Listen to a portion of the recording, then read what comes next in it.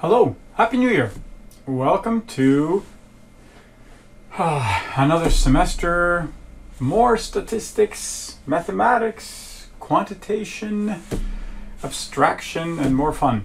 Uh, this presentation will be an introduction to the Stat 1013 course. I'll try to keep it as short as possible. And uh, you'll be introduced to what I'm calling the research alphabet. I started with two F's two F's, one F, four C's, two I's, and I added a bunch of other letters, so I stopped. Um, I didn't keep track actually anymore. Um, and so let's uh, let's get into it right away. So first of all, informal, intuitive reasoning doesn't always work.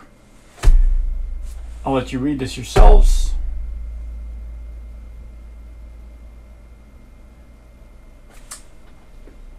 The point of the story is if they make sense in your head but you cannot actually articulate them then maybe they don't make sense in your head. And i know as a teacher i've been asked questions every once in a while and i am trying to answer and i'm like i don't really understand this so i need to take this away and think about it before i can give a good response.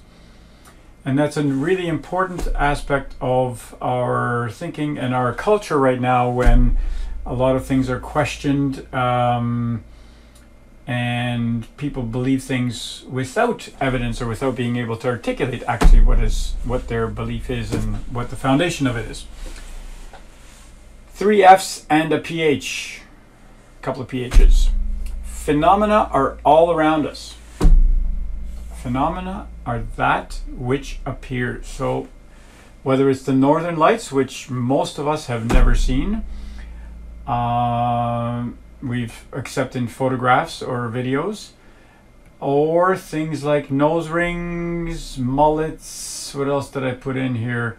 Uh, Black Lives Matter is a phenomena, the protests, and ticks moving north. So those are all different aspects of our lives. Some are in the social sphere, some are in the um, more physical sphere, but they affect our social lives. COVID is another one I could have put in there. Um, those are phenomena, things that we notice, things that we study, and so formal research is interested in studying those. And formalizing is to give something shape. So we had informal reasoning. So this notion of intuitive, it feels right, and we uh, like to go with that. But um, at times, it's really important that we do that and then at other times it just doesn't work. So feeling a mask, wearing a mask just feels wrong, but it seems like it's the right thing to do right now. And then formulating. So formalizing is to give something shape. So our educational system gives shape to teaching and learning or attempts to do that. And it's not always successful, but uh, that is what uh, its goal is. To formulate basically means to put into a formula of some sort, and that's the notion of abstraction. Uh, I wrote a, something really smart here that I got to read. I think when we give shape to a phenomenon and do that in the context of a community, so together we build, with the education system has been built over years and years and years of communities doing this, uh, we formalize it democracy and education are similar. They're nice ideas and exist informally in our minds, but they become formalized in the systems within which we're living. Uh, they've been formalized differently in different cultures, that's true. Uh, and some of those cultures, the way they do education or the way we education, may seem wrong and may be wrong, in fact. Um, the same way with democracy um, how we choose our leaders, uh, how we give power to others. But we're not going to be focusing on that as much, although those are really, really interesting questions. Um, we're going to be focusing more on quantification and going back to mathematics, the course that you did last semester. Um, mathematics is a discipline that's most associated with formulas and giving form to our ideas. It's been the most successful. So whether it's in physics, whether it's in biology, whether it's in chemistry, mathematics stands. It's the way we formalize our thoughts and ideas and we present them and represent them. Um, few of us get the chance to uh, do the formulation. We study the formulations or the formal systems that have been that have been made before. So if we're studying the education system, we study that. If we study, um, which we're doing now, statistics, we're studying the formalized system of making sense of the world that has been done by other people using mathematics. So the research process wheel, which is really, really important, um, and which you'll be following this semester. You have a research idea, follow it with a lit review because you want to learn, if you want to formalize and see how other people have formalized that idea. And then we start designing the research. We write a proposal. The proposal gets approved, sometimes not, or most of the times not. Uh, we collect data, we analyze data. That I think is more straightforward to you. Peer review, publish, and present, and then we can relax and come up with another idea. And that's kind of the um, the process that you'll be following this semester.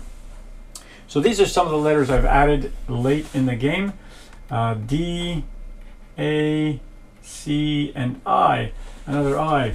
So you've done this informally and I've done this teaching you informally and I want to formalize it this semester by getting you to explicitly work at defining questions, thinking about what it means to abstract so that you can do computations or calculations.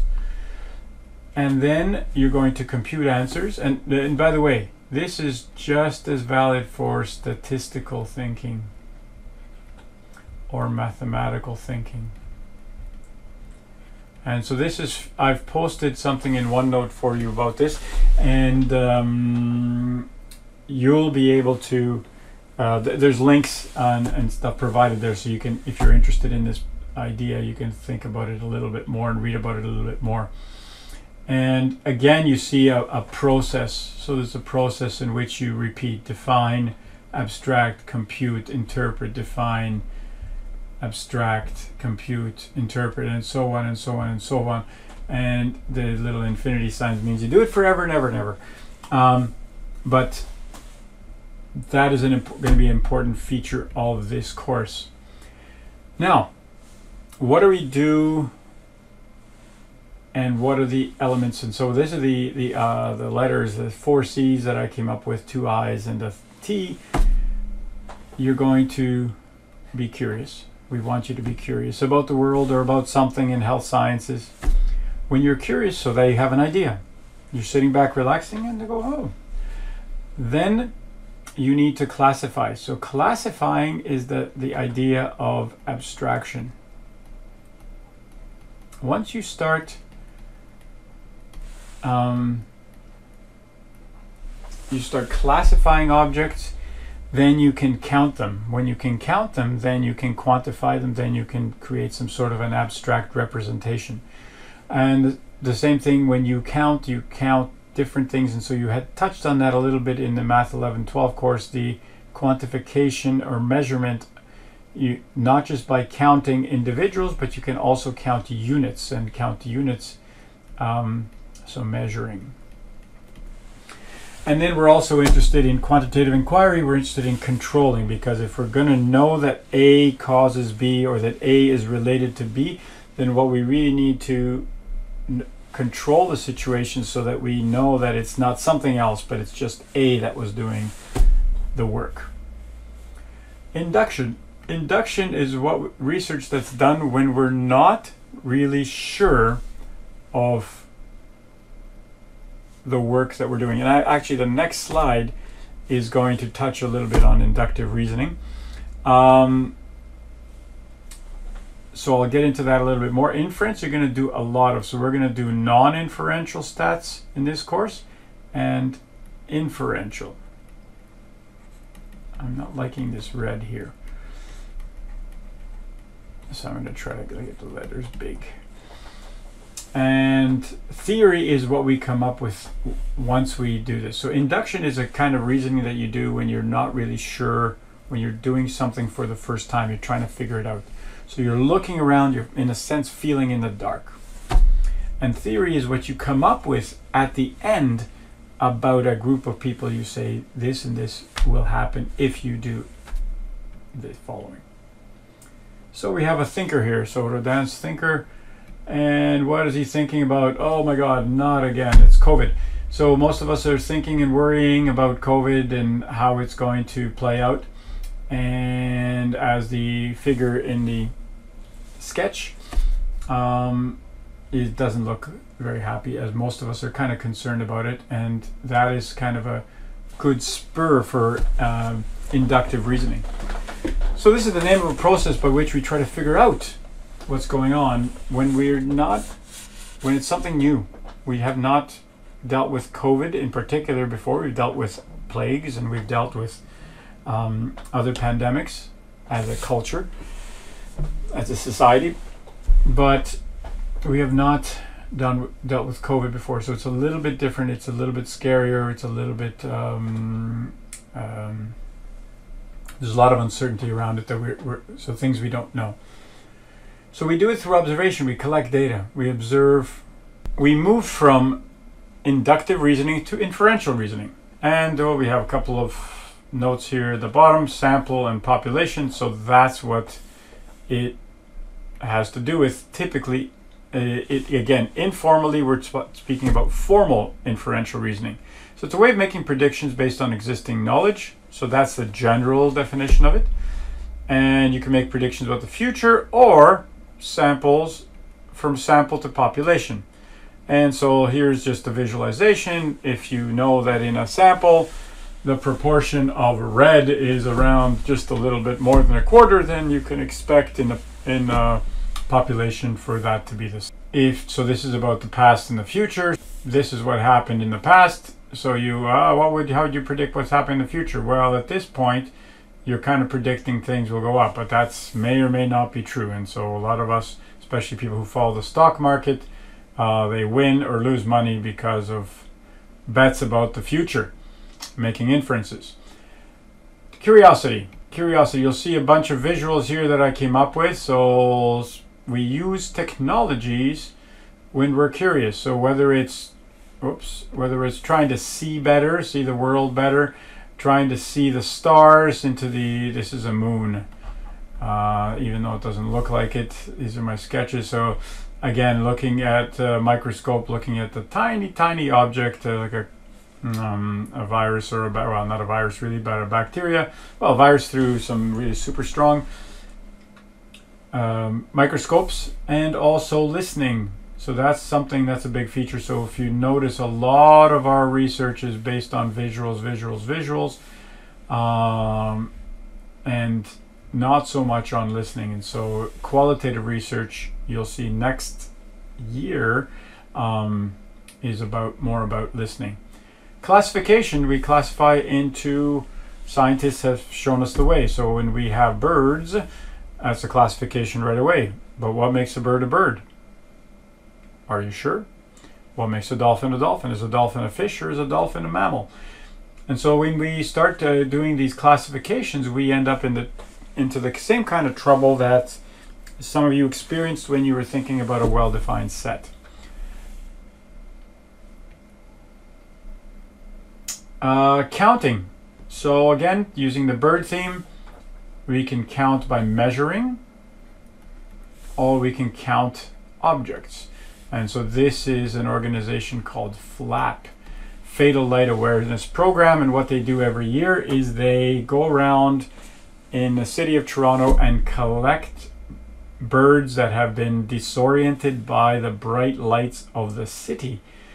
And they collect the dead birds and make a count of how many um, birds have not survived their trip through Toronto after surviving sometimes thousand, uh, thousands of kilometers of flight. Uh, so control again, we want. I mentioned that before. We want to focus on phenomena of interest and so this is uh, this is a gauge. You may not be able to tell what that is. This is a canoe, so paddling a canoe, we want a canoe and, and take the boat into the direction we want to take it in, whatever it is. Um, and finally, another image of control is the experiment. And so we some people will get sent and so this person is getting sent to the control groups and the treatment group and so on. And so that's how it, it plays out in the research field. So again, the formalized procedures, you can see how design, uh, collecting data, um, analyzing data, all these are on, and how you take the idea into the design, that's going to be a really important part of the work that you're going to be doing in this semester. Statistics. Sorry, and I'm going to jump back here. Is that what statistics is about?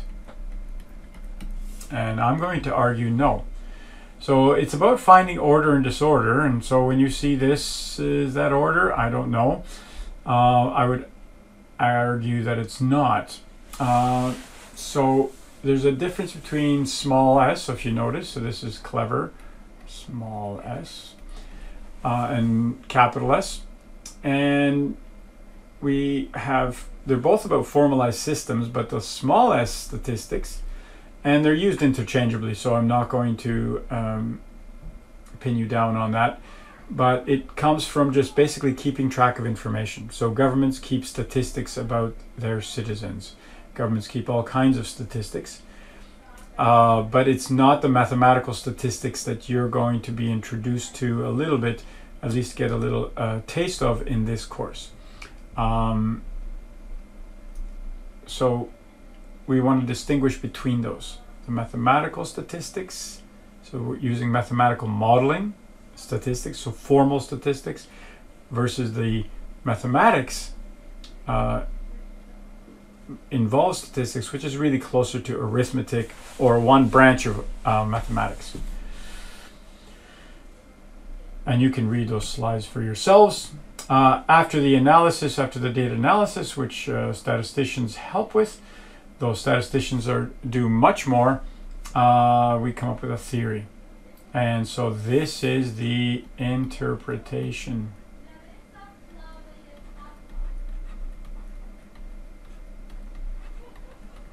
And if I'm going to jump back a little bit here, what I would call this is the computation. Uh, I guess so. Because I compute numbers, whether it's small s or large s, that help me come up with a theory. Okay, and so this is the capital S. So it's a process that keeps happening. It's not just one study, you find that out and you're done. So keys to success in this course learn the terminology, get a competence before comprehension. So get good at the, the terminology, do the exercises, even if you're feeling like, I don't really understand this yet. Do the exercises, make mistakes. Through the making of the mistakes, you will learn.